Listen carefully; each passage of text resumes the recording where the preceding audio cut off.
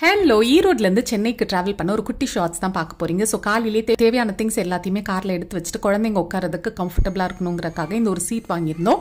அதை வந்து ப்ளோ பண்ணி வச்சுட்டு நடுவுலையும் சூட் கேஸ் இருந்த திங்ஸ் எல்லாம் வச்சுட்டு அதுக்கு மேலே பெட் ஸ்ப்ரெட்லாம் வச்சு கம்ஃபர்டபுள் ஆகிட்டோம் குட்டிஸ் அவங்க பேரண்ட்ஸை பிரிஞ்சதுனால ரொம்பவே அழுதாங்க. அதனால ராம் அவங்களை வந்து சிரிக்க வைக்கிறதுக்காக பாட்டு பாடிட்டு இருந்தாங்க.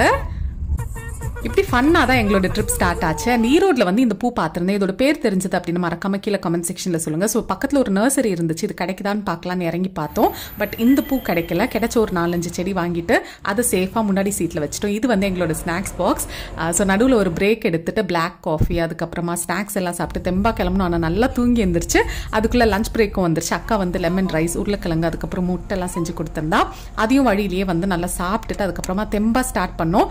பட் கொஞ்ச நேரம் போக போக குட்டிஸ் எல்லாம் ரொம்ப டயர்டாகி நல்லா வாயை பொழந்து தூங்க ஆரம்பிச்சிட்டாங்க. ஸோ ரொம்ப ஜாலியாக ஆரம்பித்தேன் எங்கள் ட்ரிப் இப்படி தான் வந்து முடிஞ்சது. பட் சேஃபாக சென்னை வந்து சேர்ந்தாச்சு.